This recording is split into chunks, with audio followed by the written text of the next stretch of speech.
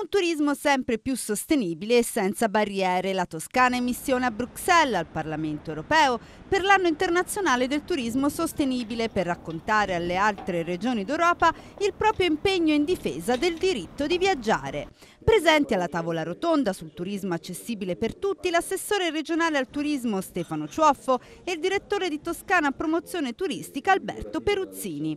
L'assessore Ciuoffo durante il suo discorso alle altre regioni europee ha sottolineato che tutti devono poter viaggiare e viaggiare è un diritto anche per chi ha una disabilità. Fare questo significa investire sull'economia, investire sul futuro, investire nella tutela di ciò che di più prezioso ci è stato consegnato dalle generazioni passate. Abbiamo se possibile anche un compito in più, renderci conto che intanto l'accessibilità è un tratto distintivo che aggiunge se possibile valore nostra, al sistema della nostra ospitalità e quindi determina una maggiore attrattività della Toscana in quanto sicuramente eh, diffusamente accessibile e in più abbiamo anche il dovere di trasmettere il valore culturale eh, del nostro patrimonio. Quella inaccessibilità alla cultura è una barriera che dobbiamo superare.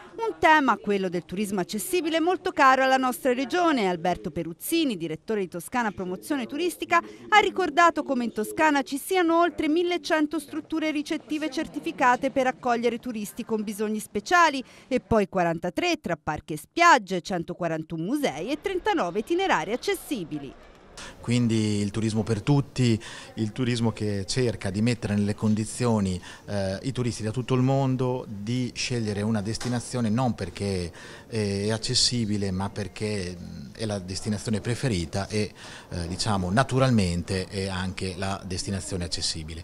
Quindi la grande sfida è questa, lavorarci con eh, raziocinio e con progettualità pluriennale per, eh, per i prossimi anni eh, l'impegno della Regione Toscana non mancherà. Al Parlamento europeo è in corso un dibattito per dare una linea guida per uniformare le politiche di attenzione alle diverse disabilità e per questo la Toscana ha portato ad esempio le sue buone pratiche per un viaggio senza barriere.